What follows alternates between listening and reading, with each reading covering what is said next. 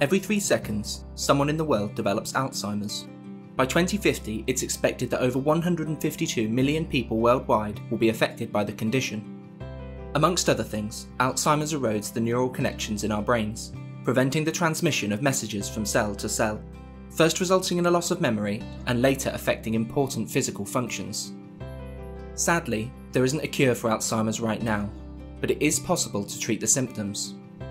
Transcranial pulse stimulation therapy, or TPS, provides a safe and pain-free treatment option for sufferers of mild to moderate Alzheimer's disease, helping to promote and maintain cognitive ability while stimulating deep cerebral regions of the brain without any impact to existing medications. TPS therapy works by triggering a number of growth factors, improving blood flow to the brain and encouraging the formation of new vessels and nerve regeneration. The treatment also helps to release nitric oxide and BDNF, protein that protects existing neurons and synapses. First, you or your loved one need a clear diagnosis from your practitioner.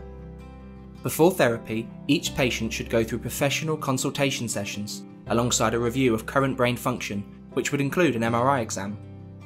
Typically, TPS therapy includes a minimum of six 30 minute sessions spread over two weeks, followed by improvement and impact assessments alongside optional booster treatments.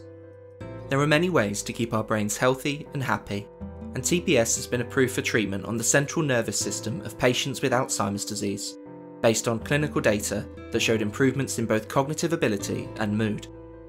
For more information, visit tps-neuro.com. Storz Medical. Humane technology, technology for people.